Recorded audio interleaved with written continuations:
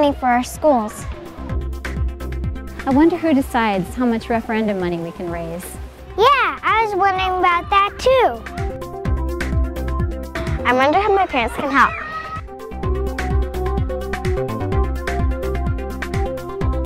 As a superintendent, I've been deeply involved with education issues at the state legislature over many years.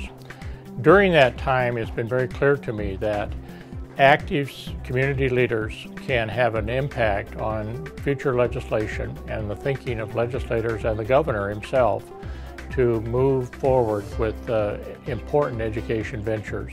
Involvement in education funding in particular is very important to local school districts. Much of our funding and the formulas and the amounts that we can even tax ourselves are set by the legislature. In 2002, after a successful referendum, we still faced budget cuts. We knew that we had to do something and CASE was born.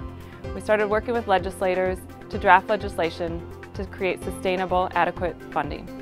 When we started CASE, we knew that it was very important for us to go to St. Paul, where the action was, and to advocate with legislators on both sides of the aisle. Being nonpartisan was the way for CASE to make a difference for what was really important, the future of Minnetonka's kids. CASE has worked with our legislators to keep education funding a priority, so we can keep quality teachers, we can protect our small class sizes, and CASE has also helped draft legislation to improve student learning through technology for students in Minnetonka and across the state. CASE, which is Minnetonka's Community Action Committee, has really been very effective. They've been nonpartisan, they've addressed the issues in a very firm and clear way, and legislators have paid a lot of attention to them, consider them as a great resource.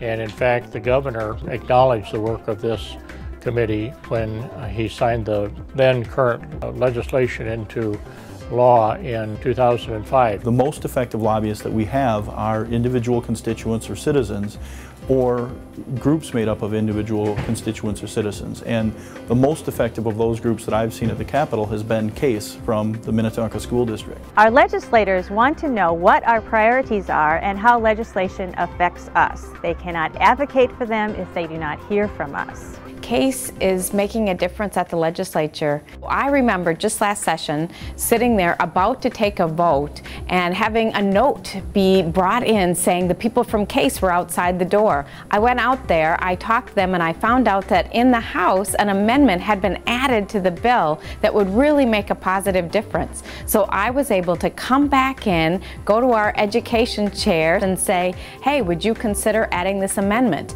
And in that case, we did. The people who represent CASE are worried and concerned about all the kids in our state. They work with the other school districts. It's a nonpartisan group, and so we've come to really trust the people in CASE. There are a variety of ways to become involved. Simply signing up to be on CASE's email alert list will help you keep informed.